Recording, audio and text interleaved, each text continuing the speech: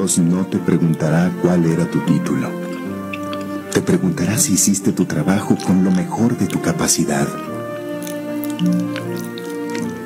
Dios no te preguntará cuántos amigos tenías. Te preguntará cuánta gente te consideraba su amigo.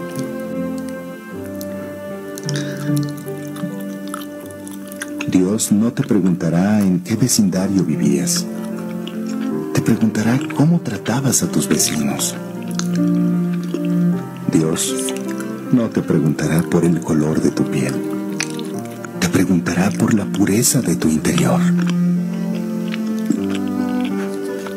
Dios no te preguntará por qué tardaste tanto en buscar la salvación. Te llevará con amor a tu casa en el cielo y no a las puertas del infierno.